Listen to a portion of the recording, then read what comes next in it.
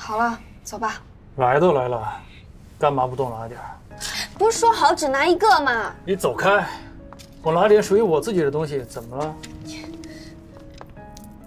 昔日明星入室抢劫，怎么着？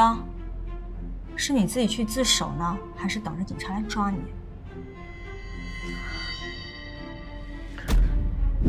苏黎保险箱里不是有我给他买的那个钻石吗？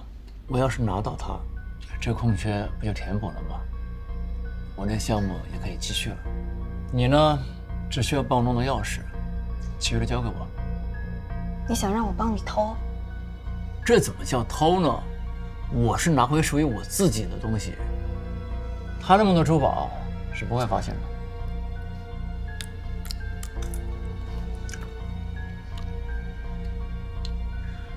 大不了一起完蛋喽，我无所谓，我现在一无所有，没钱也没有家庭。可你就不一样了。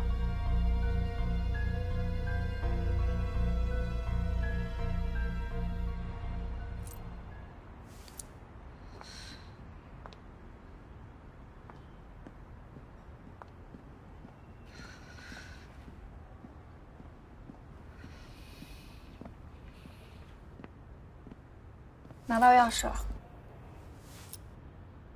苏里有个剧本会在开，大概两个小时，你快点，偷偷拿出来的，我要在他开完会之前还回去。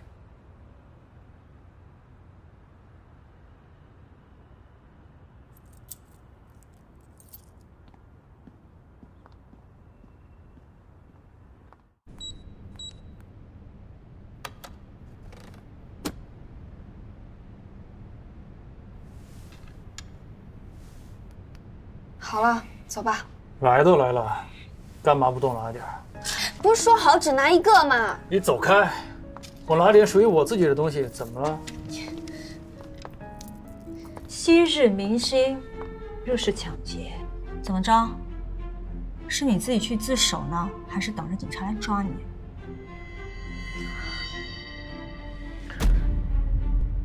我反正名声已经臭了，我无所谓。但你舍得赔上你的好闺蜜吗？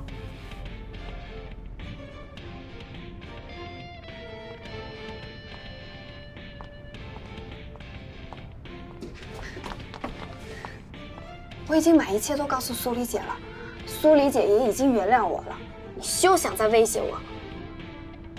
妈的，又被你给算计了。是你自己找上门的。我拿属于我自己的东西，我有错吗？你他妈把我整的还不够惨吗？这些珠宝根本就没法弥补我。那我的孩子呢？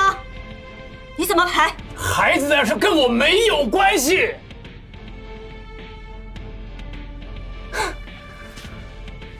不过我现在很庆幸，你没有把孩子生下来。要是让他知道他的父母这么恨对方，那他的人生也太惨了。苏丽姐，我们别跟他啰嗦，我们报警吧。把手机放下！你冷静一点。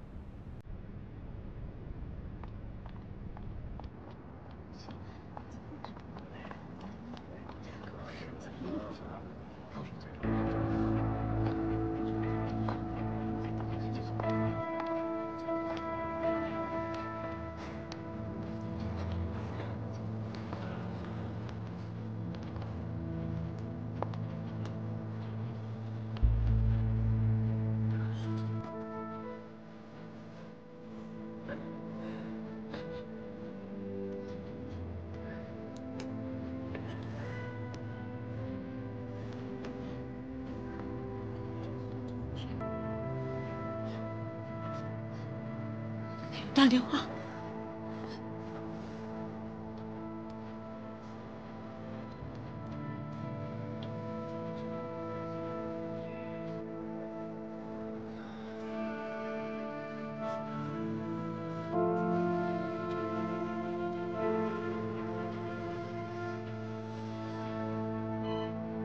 病人撞击了头部颅内出血导致颅脑损伤。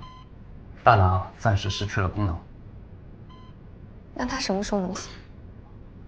脑组织的恢复是需要时间的，有十几天就醒来了，也有几年，甚至永远醒不了的。所以目前我们只能依靠医疗设备维持他的生命。知道了，谢谢医生。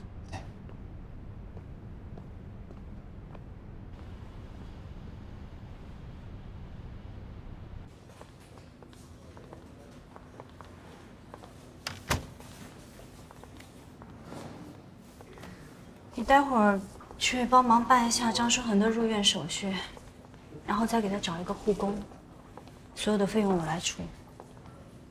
苏黎姐，他这么对你，你还帮他？他父母在老家，身体也不太好，没人能帮得上忙。一切等他醒了再说吧。好，我就是觉得奇怪，他应该知道我们俩关系非常好，他要动我的钱，怎么会找你帮忙呢？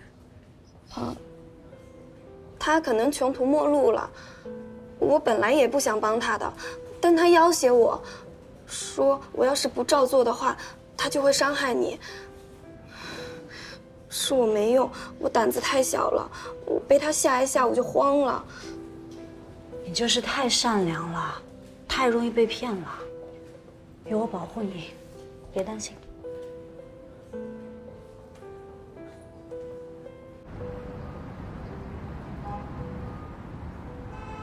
苏总，我约上李导了，但对方的时间安排的比较紧凑，他明天在北京有场活动，只有两个小时的晚饭时间。两个小时足够了。这不是李文导演吗？他可是国际大导演，他拍的所有作品我都看过。我们是不是要跟他合作呀？我是不是能看见他？还在争取，有好多家公司想跟他合作，别乱说。李导相关的资料你都整理好了吗？嗯，这是整理好的李导的生活习惯、爱好和各个注意事项。我让人订了明早的机酒，这样就可以提前去准备。给王维德也订张机票吧。哦，我们三个人去，确实保险一点。张总那边在项目选择上有一些分歧，你留下来跟他磨一磨吧。可是李导这边一直都是我负责的。李导在圈内是出了名的性情古怪、脾气大，王维德没有经验，容易出错。这样吧，我订晚一点的机票来吧。不用那么辛苦哦，有我呢，没事儿。你跟他做好交接。王维德，有信心吗？有啊，那艺术家不都有点小脾气吗？我像对待女朋友一样对待他，充满耐心、细心和用心。行吧，那李导资料背熟吧。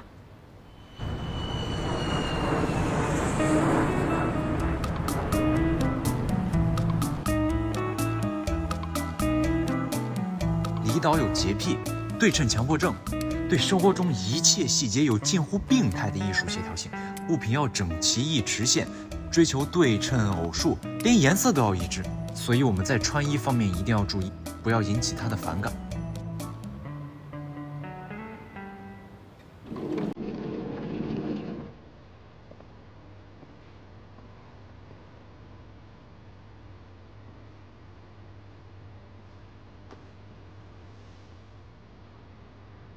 哦我有什么问题吗？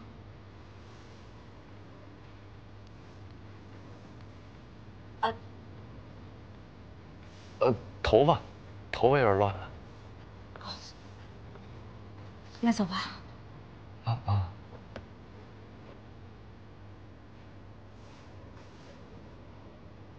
都半个小时了，要不催一下吧？不行。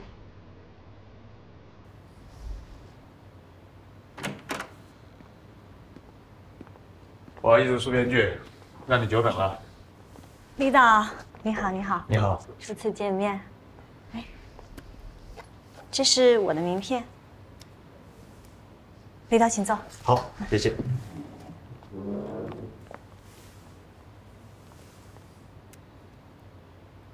苏编剧的包，很特别啊。哦，这个是苏老师当时做志愿者的时候用可回收垃圾做的。嗯，怎么办。那个李导，我们先点菜吧。来啊，您您看一下。嗯，谢谢。八宝葫芦鸭、金陵丸子，都是很名贵的菜呀。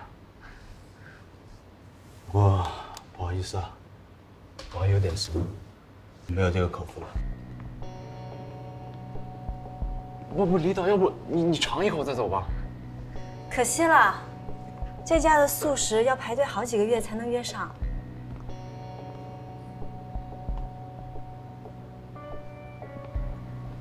素食，他们用好几道工序做出有独特味道的素菜，提倡大家多吃素菜。哦，对对对，那我可以尝试一下。那苏编剧，你先点菜，我去趟洗手间。好的。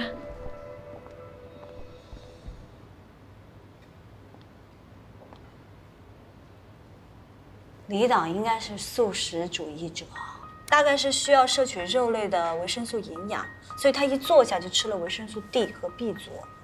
不是让你查清楚他的喜好和忌口吗？对不起啊，我我疏忽了。我以为他从小生活在南京，这家就一定合他胃口的。你不是在国外生活过，没遇到过这类人群吗？啊，我在国外也也没多少朋友。打起精神，让厨房做几道拿手的素菜。行行，千万没有荤腥啊！啊，我知道，别再出错了啊！放心吧，放心。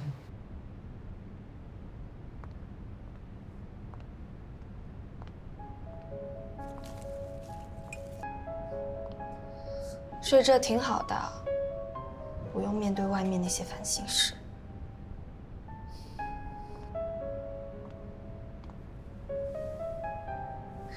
其实，苏黎并不知道我做的那些事。他觉得我是为了保护他才被你要挟的，自己损失了一百万，却一句责怪我的话也没有。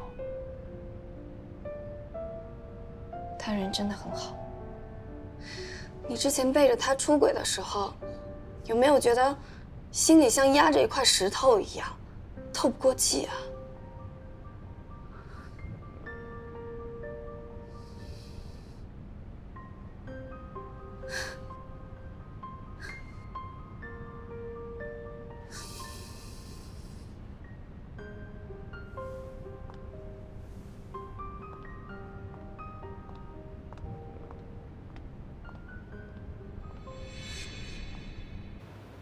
那就这样说定了，苏编剧，谢谢你的款待，我很期待你的故事哦。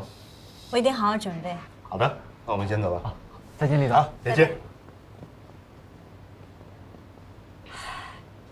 李导跟我们合作概率有几分？九十分。这次的竞争对手很多，而且每一个都是非常资深的编剧。你帮我订明天早上最早回去的机票，我要抓紧出方案了。你刚才一直在那说话，都没怎么吃东西，要不咱咱们吃点东西去？不饿。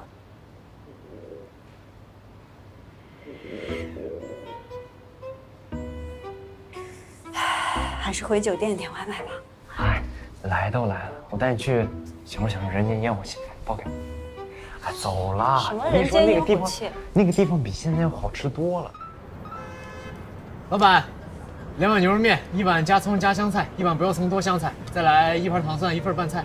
好嘞，稍等。谢谢啊。这就是你说的好吃的。你说这儿的牛肉面特别好吃，就刚才咱们吃的那个，人均几千的南京私房菜，跟这个比起来，简直不值一提。有那么夸张？我以前在这儿待过，有阵子没钱，发现这家宝藏小店价格便宜，味道还好，主要还能加面。哎，北方冬天特别冷，我从这儿吃碗面，我出门都不冷了。来，晒糕里。谢谢啊。啊，谢谢。美女，好慢慢用。不错啊。尝一口，尝一口。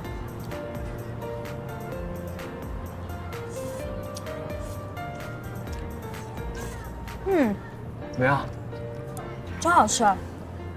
你说再来一口蒜，特地道。这我真不用。编剧嘛，编剧就应该尝尽人生百态。那那那句话怎么说来着？吃面不吃蒜，味道少一半。你快快尝尝，反正一会儿没什么事儿，我都不嫌弃你，还嫌弃你自己。尝一口，相信我，真的。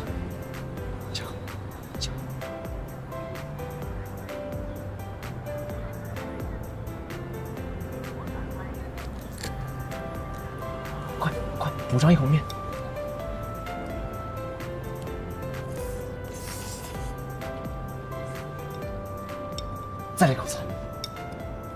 你快吃啊，你都凉了。好。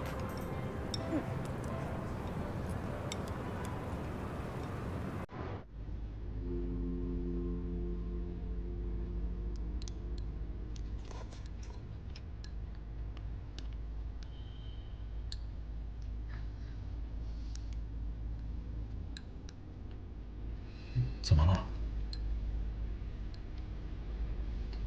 之前都是我陪苏丽姐出差，这次他带了其他人去。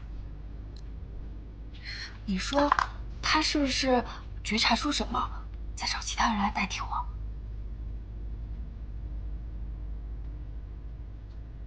苏黎是个深藏不露的人，哪怕他知道什么，也会选择按兵不动吧。我现在担心的不是他要找人代替你，我怕他要对你下手。苏黎姐是个顾念旧情的人，应该不至于对我那么狠吧？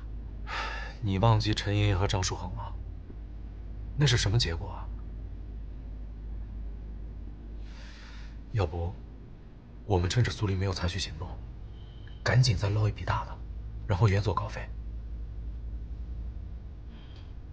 我再想想，苏黎姐虽然对他们那么狠，但那也是张书恒有错在先呀。我好了，我想了好久，我不想看你再冒险了，而且我尤其不想看到你每天那个战战兢兢过日子的样子。我们找一个没有人认识我们的地方，重新开始。我负责赚钱养家，你只需要貌美如花就好。重新开始，那你要做什么？我就算什么都不做，我去工地上搬砖，也好过看你受这样的折磨呀。只要我们齐心协力，我们的生活一定能重新好起来。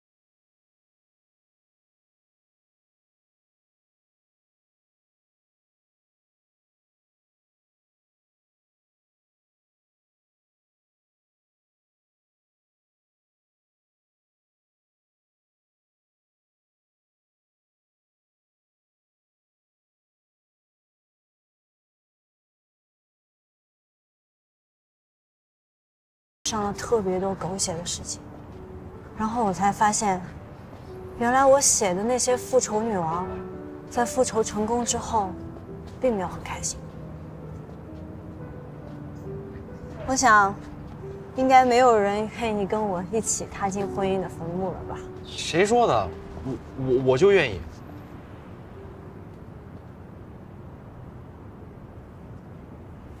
我还有半句没说完呢。我现在都这么惨了，也没必要和别人一起躺进婚姻的心脏坑了。快走吧，今天晚上还要加班加点的工作呢。我。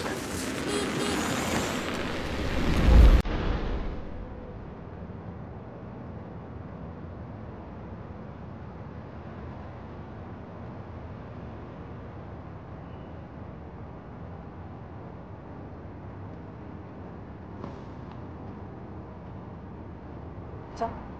啊。刚刚才挺危险的。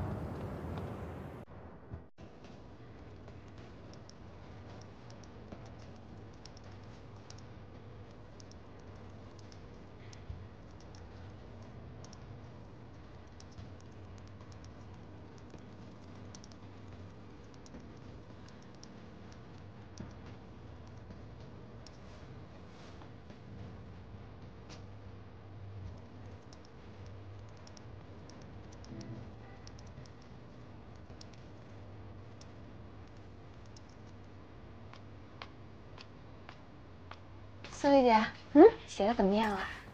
基本的大纲已经完成了，那先吃饭吧。嗯，谢谢啊。我先去上个洗手间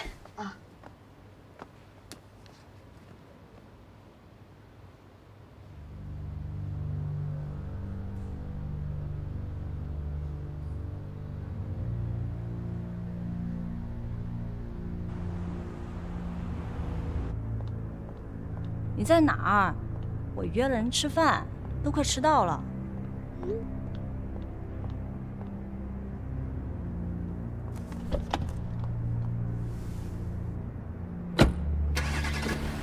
车出了点小问题，你先修好吧，马上到。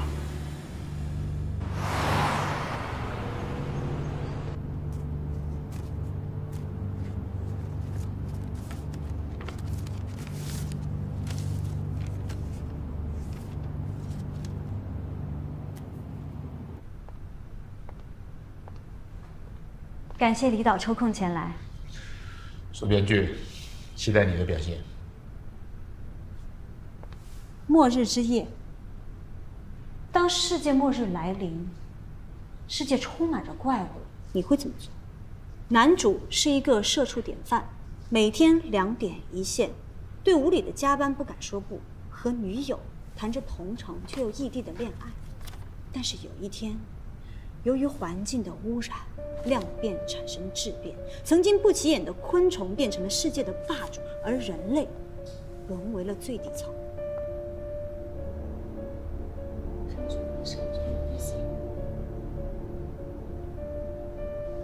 男主为了心爱的女人，一路升级打怪。在这场世界末日的战争里面，女性。苏编剧，我觉得今天的创意会差不多可以结束了。李导，李导，李导，李导，能告诉我原因吗？苏编剧，你的创意和我们昨天见的公司一模一样。不可能，这是我的原创。我这些天一直在忙这个剧本，这当中肯定有一个有问题。其实也未必是苏编剧你的问题，但李导对抄袭一向是零容忍。对不起了，苏编剧，你还是好好回去搞清楚这件事情吧。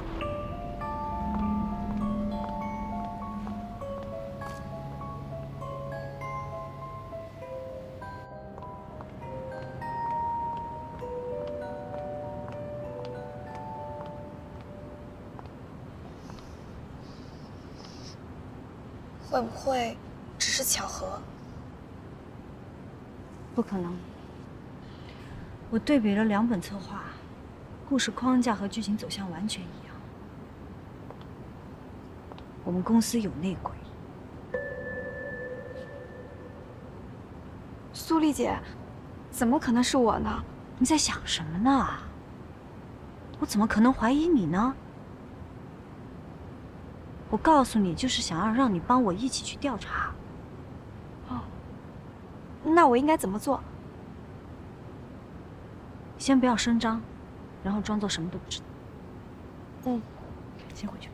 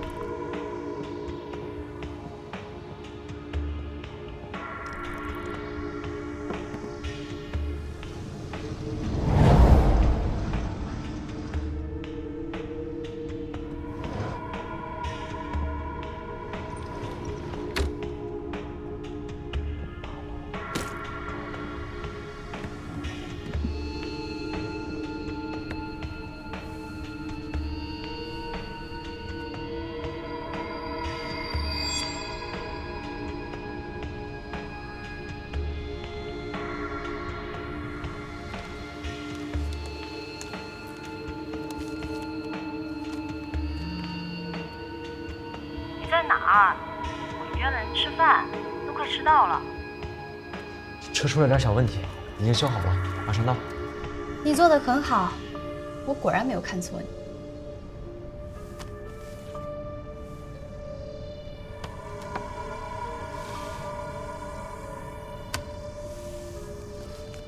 我还要你帮我做件事情。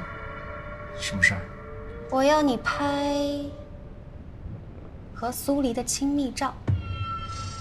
你要这个干什么？我要把它做成是他离婚前拍的，这样有他好受。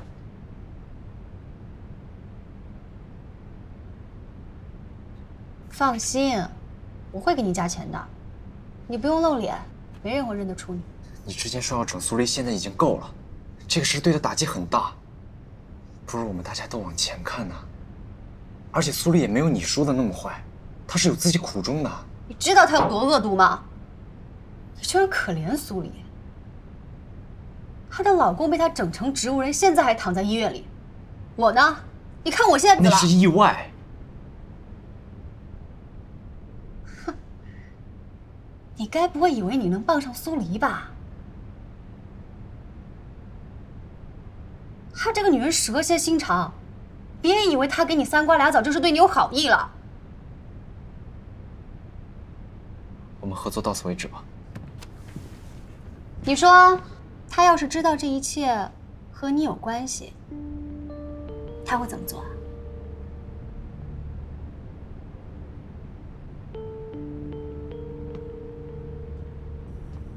你到底要干什么？没有我，你就是个在剧组吃了上顿没下顿的小龙套。苏黎根本看不见你，演了两天富二代，当真了？拿着我的钱，想要充数做苏黎身边的男人？你脑洞挺大的嘛！我从来没这么想过。钱我不要。即使你不做，我也会继续找人配合。我一定要让苏黎生不如死。至于你对苏丽做的一切，我也一定会告诉他，他不会放过你的。